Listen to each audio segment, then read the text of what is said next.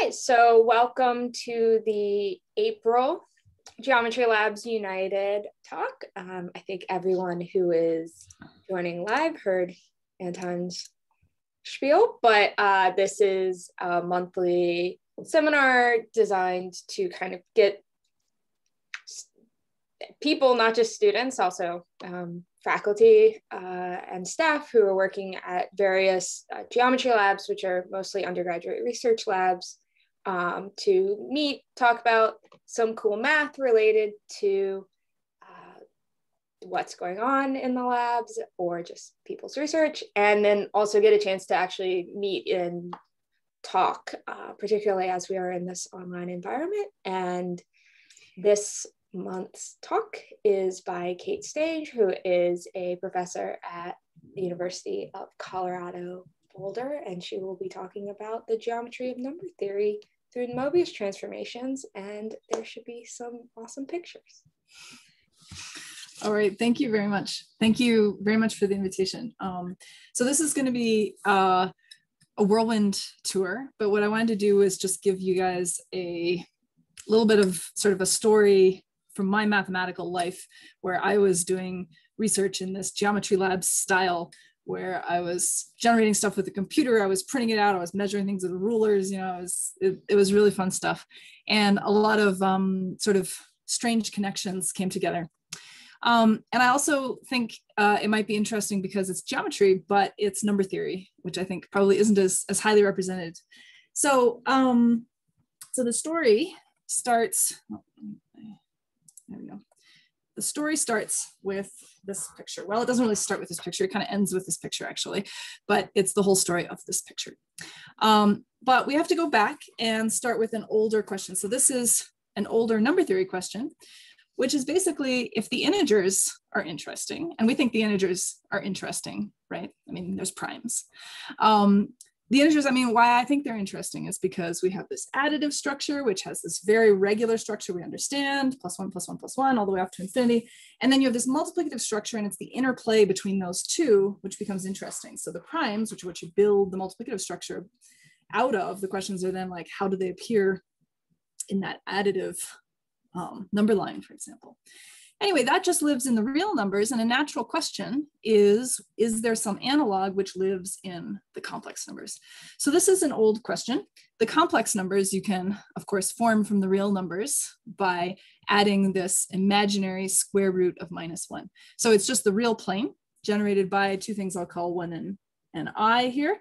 Um, and it has an addition because you can add vectors in the plane. So we're thinking of these numbers the, the point x comma y in this picture here is x plus i y. But if you want to multiply them, it turns out you can do that too. And all you have to do essentially to build the complex numbers is add in the stipulation that when you go and try to multiply stuff, you follow your nose until you get to an i times an i, and then we declare that to be a minus one. All right, so the number line, the reals live in here on the x-axis, and the integers live on that axis. And then you might ask, well, if you have this whole space of complex numbers, is there some analog of the integers in there? So the natural thing to do is um, to guess, maybe we'll take the complex numbers that have integer coordinates. Um, so that looks like this lattice of white dots here spread across the complex plane. Um, and what's so great about this choice? What's integery about this? Well, to begin with, if you add or multiply those things, you get again a complex number that has integer entries. So they form a ring by themselves. It has a zero and a one and it's commutative. It's also a discrete lattice, which means that just like the integers in the reals, they're spaced out evenly. Um, but it uses up the whole space. It's rank two. It's two dimensional. Okay. So what would you like if they were really going to be like integers? Well, then you would want there to be primes and you would want there to be unique factorization, then it would look like integers. And if you've taken an elementary number theory course, um, you can you can access unique factorization and primes and a lot of elementary number theory by using the Euclidean algorithm. It's sort of a fundamental tool that you need. And so you can ask, is there a Euclidean algorithm in this setting? Okay, so these are questions from hundreds of years ago that we've, we've answered. But today I'm gonna answer them with the picture. Okay, so the answer to that question lies in this picture, particularly the Euclidean algorithm. All right, but first I have to go back. I want to tell the story a little bit chronologically, which is that um, I had a friend from math camp when I was in high school, and we both became mathematicians. I became a number theorist. He became a probabilist, and he phoned me up because I was, you know, his number theory friend. Um, because in his research, something was coming up from number theory, and he said, "Do you know anything about Apollonian circle packings?" And I said, "No, I don't know anything about Apollonian circle packings." But it turned out I was in the Bay Area, and uh, a postdoc there, Elena Fuchs, was giving a talk about Apollonian circle packings, and this is what I learned at her talk. So an Apollonian circle packing is uh, formed in the following way. So what you do is you start with three circles which are mutually tangent. In this case, I have two of them inside the other ones, fine, whatever you want to do. And then you ask the question, this question is due to Apollonius in ancient Greece, and that's where the name comes from. Um, he studied these questions. You ask, how can I add another circle, which is tangent to the three that I've already got? And in the picture, you can probably visualize where they are. There's two solutions to the problem. And in general, there's always two solutions to the problem. So what I'm gonna do is I'm gonna use that as a generative process. So I'm going to start with these three. I'm gonna add in these two new ones. And now I've got new triples that I could put a new circle tangent to. And that fills in the curvilinear triangles that you see with a new circle tangent to the three sides over and over and over again. And so if you do this forever, you get an Apollonian circle packing. Okay, so it's a fractal, it's something from geometry. Um, why would a number theorist be interested? Well, it turns out that if you label the circles with their curvatures, in this example, you get all integers, no matter how tiny you dig down in here. So the curvature of a circle is one over its radius. And a priori, if I just started drawing circles, you, you totally wouldn't expect for the radius to look like one over an integer all the time. And why not root two or three quarters? Um, but it turns out that once you get started and you've got integers going, it goes on forever. So there's actually a geometric reason for that. It's usually credited to Descartes, but it's um, really from the correspondence of Descartes and Princess Elizabeth of Bohemia. And I think they both deserve credit for this. It was sort of generated through the correspondence. Um, but anyway, the, if you have four mutually tangent circles, so you have a quadruple where they're all tangent to one another, then it turns out that the four curvatures satisfy this particular quadratic relationship that you see here on the screen. And so what that means is, you know, it reflects the geometry in that if you have A, B, and C, so you've got three of those circles, then the fourth one, there's two solutions for it, right? Just like there was two solutions to the geometric problem. Um, and also those two solutions satisfy this linear relationship to do with the previous curvatures. So in particular, if you get to the point where A, B, C, and D were already integers, then this new D prime is gonna be an integer too. And so you generate integers all along. So then the number theorists pay attention and they say, okay, um, so what integers are you getting? Which ones? Which ones are in the packing and which ones are skipped, right? And that's an interesting question because this packing has this sort of, hmm, you know, it has a, a, a, fractal structure, which means it has symmetries. There's some group acting here. Um, and you'd like to understand how you end up with some curvatures and not others. And the conjecture is that in fact, it's governed by a congruence condition almost entirely. So the conjecture is that if you take one of these packings, you can set up a congruence condition mod 24 and that will basically determine whether or not your curvatures are in there. So you check, is it congruent to one of the allowable values, mod 24 or not? With finitely many exceptions, finitely many small numbers might get skipped is the only caveat. Okay, so for all sufficiently large integers that satisfy the congruence condition, they will appear in the packing, and if they don't, they won't. Okay. Um, and this is out of reach. Um, we haven't been able to prove this. We uh, as a community have been doing a lot of uh, work with advanced analytic number theory techniques and so on. Um, we can prove that the curvatures have um, the ones that are they have positive density amongst the allowable congruence classes um, and even density one. So it's like almost all of them, but we can't quite prove that there's only finitely many exceptions. Um, okay, so that's what that's what's going on in number theory. That's what I learned about the number theory side of things.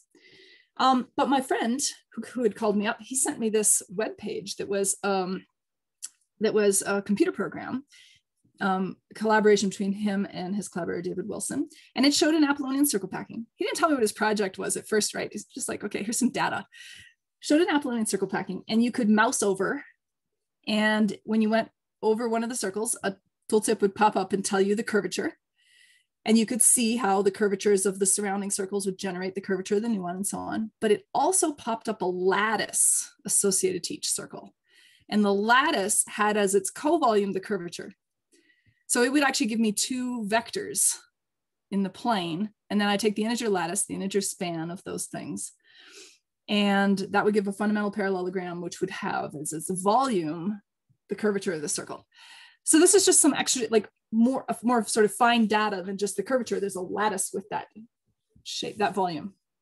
So um, so this was intriguing. And so I moused over for a long time. I was writing down all of these lattices and things and figuring out. And I finally figured out that you can give a recursive structure to the lattices too. So knowing the lattices of the surrounding circles, you can figure out the lattice of the one that's inside the solution to Apollonius's problem. So that's kind of interesting. But what, what, what on earth was he studying? Because he's not a number theorist, right? So where did this come from? To tell you that, I have to go back to what he was studying, which was abelian sand piles. So what is a sand pile? So it's a model, a very inaccurate model of how sand behaves, which is you stack a large number of sand grains in a tower at the origin on a square lattice. And then if there's more than four, you're allowed to topple and send one to each of the neighbors. So if I, if I started in this example with 16 at the origin, then I could topple and send one to each of the neighbors, okay? because a tower of sand grain, a million sand grains at the origin or something is not stable. So this is the process of it falling down into a pile. So there's 12, I can do it again. There's eight, I can do it again. There's four, I do it again. Now the neighbors each have four in this example, so they can each topple, right? And they each sent some stuff back to the origin, so now I can topple the origin one more time. And then I have too few sand grains at any position to do any more toppling. Okay, so this is an abelian sand pile. You could start with whatever configuration, but the, the, the sort of simplest thing people could think of was to start with one tower of sand grains at the origin. Um, and then you let it stabilize and you ask, what do you end up with? What does the picture look like? So let's do more sand grains. So here's if you do a thousand grains. Now, instead of writing the numbers at the positions, I'm showing uh, four different colors for the number of sand grains left over because you can have zero, one, two, or three left over when your toppling is done. Okay, there's 10,000. I've had to scale out to fit it on the screen. 100,000, scaling out some more. 150,000, 250,000, 500,000. And if I zoom in, this is what I see. So what's interesting about this is that you get incredible complexity from simple rules, something like the game of life or something, right? It's some sort of situation where um, you set up some simple rules and you have this emergent complex phenomena and you ask, how to, you know, what creates that, what's going on. So um, one thing to notice is that this looks like I'm just getting finer and finer detail as I go to more. There's some sort of limiting picture here, which is kind of interesting.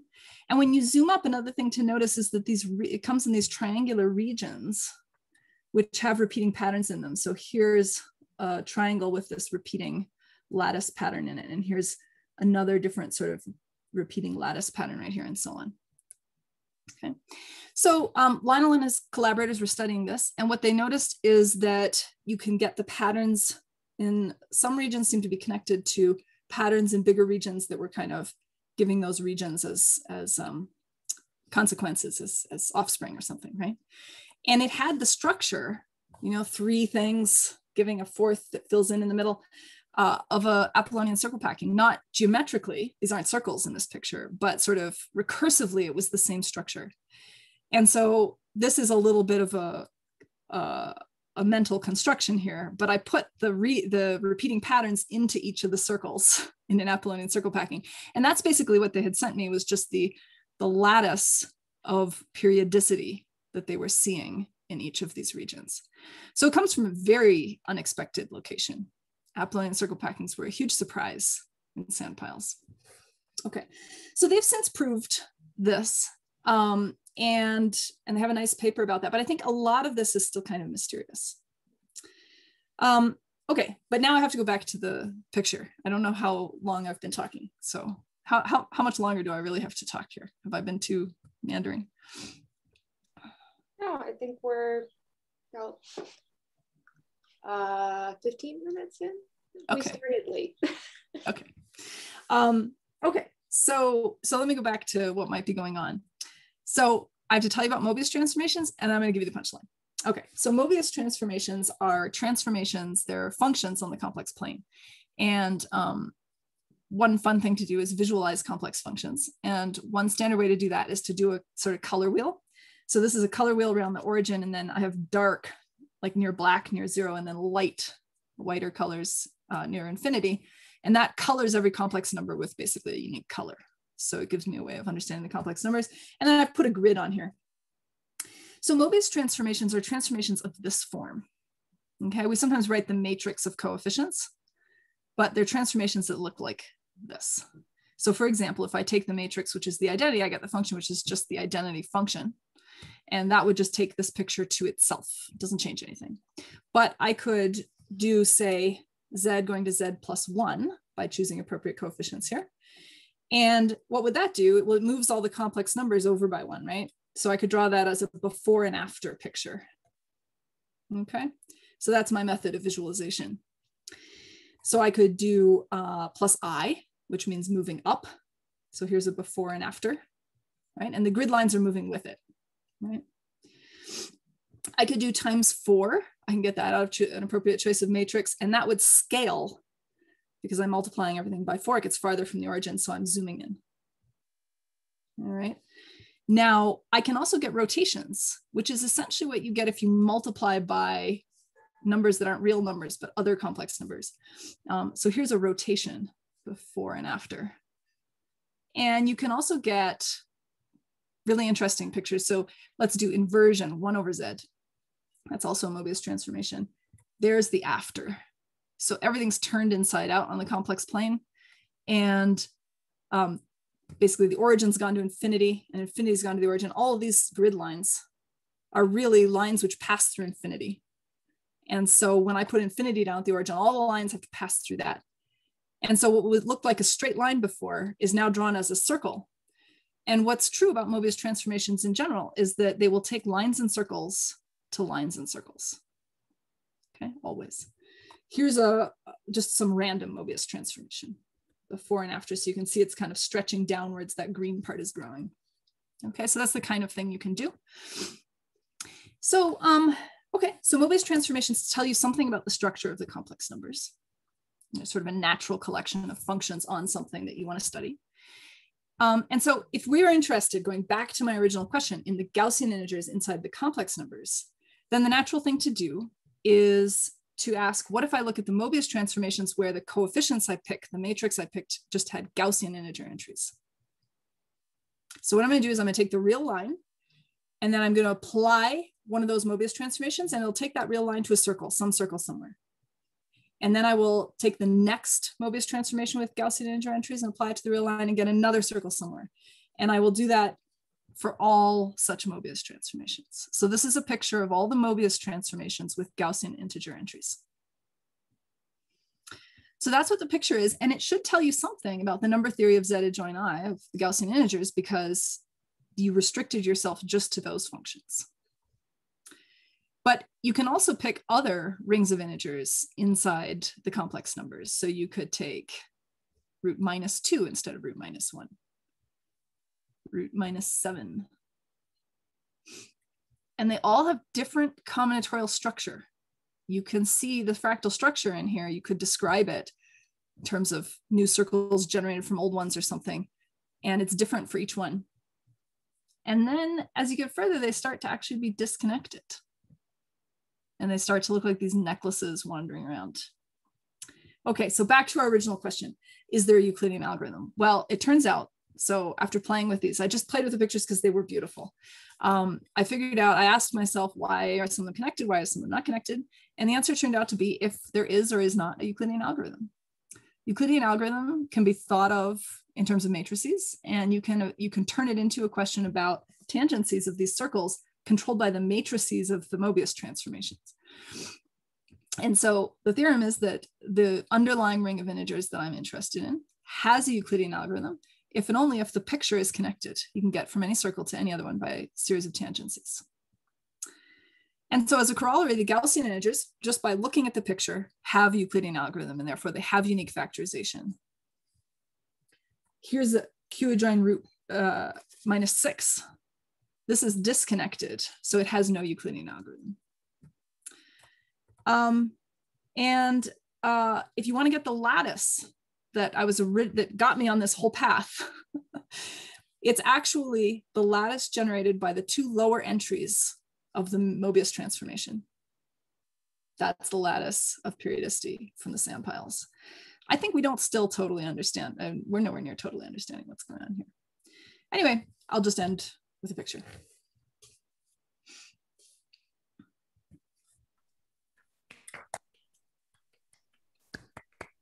Thank you. Questions? So what happens if you take a connected component? Does that have meaning?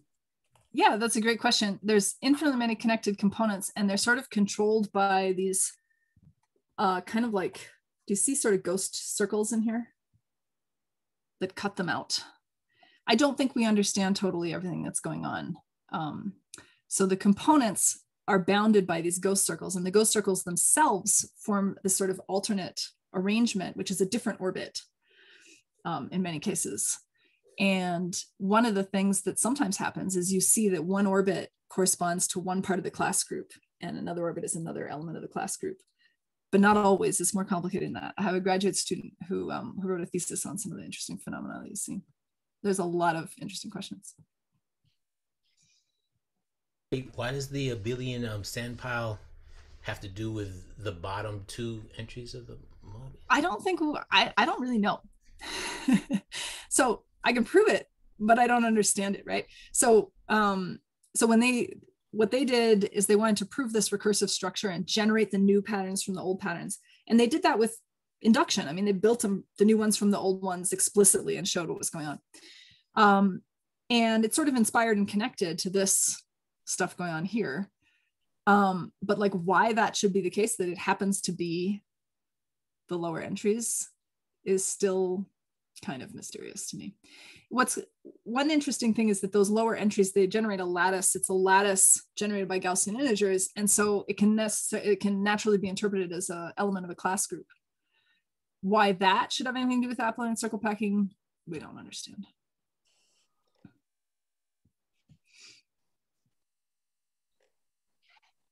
Oh, and I should have mentioned, since this is a GLU talk, that um, you know this was work which I did before we started up our lab at CU.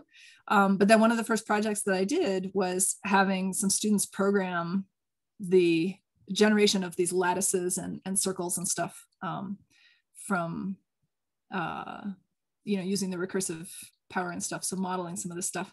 Um, yeah, and we got to play with some 3D printing and things like that.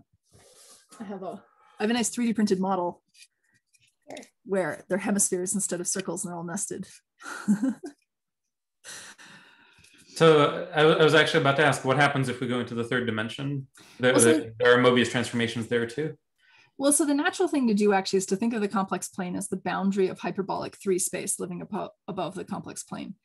And then PSL2Z adjoin I is the hyperbolic isometries of that space. And so what you want to do then is think of that as an, an analogy to the upper half plane and its modular group um, action with the fundamental regions and stuff. And then if you if you do that, you kind of get this picture. So these are hyperbolic geodesics. It's a sort of natural thing to do is think of each of those circles as a boundary. Excuse me, I almost hung up on you. Of uh, of the um, uh, of the corresponding geodesic. And so these are kind of like lines, walls of some tessellation of the upper half plane or something. It's not the, the usual modular one is not the correct analogy exactly, but almost.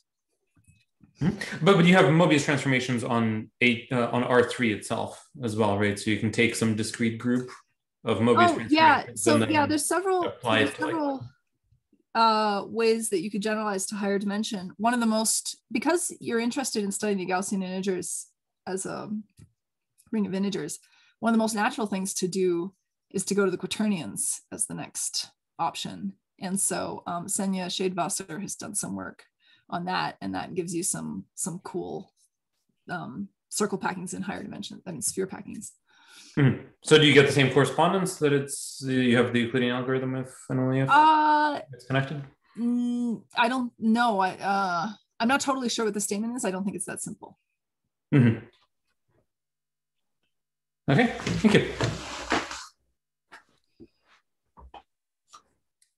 Other questions?